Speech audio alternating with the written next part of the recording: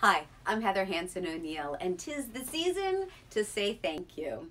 All right, technically, every season is a good season to say thank you, but I want to wish you and yours a very happy holidays. No matter what holiday that you choose to celebrate, my heart is thinking about you in gratitude.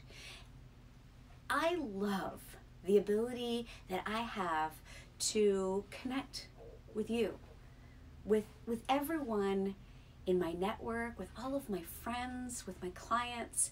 I enjoy this tremendously. So for you in this season of of peace, love, and joy, what brings you peace? Who do you love? How do you how do you get that sense of joy and fulfillment?